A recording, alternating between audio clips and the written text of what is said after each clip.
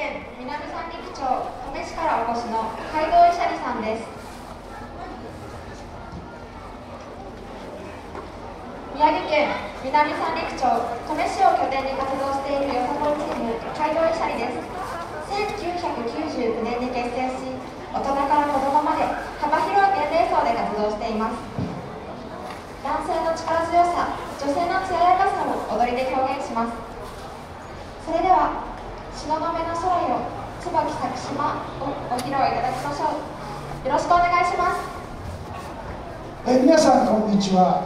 宮城県登米市南三陸町から参りました街道医者と申します、えー今年はですねあ久しぶりの盛、岡での演舞となります、えーまあ、新人も入りまして、えーまだ少し完成してない人もかもしれませんが、まあ、ご愛嬌ということでご了承願いたいと思います。それでは心を込めて踊ります。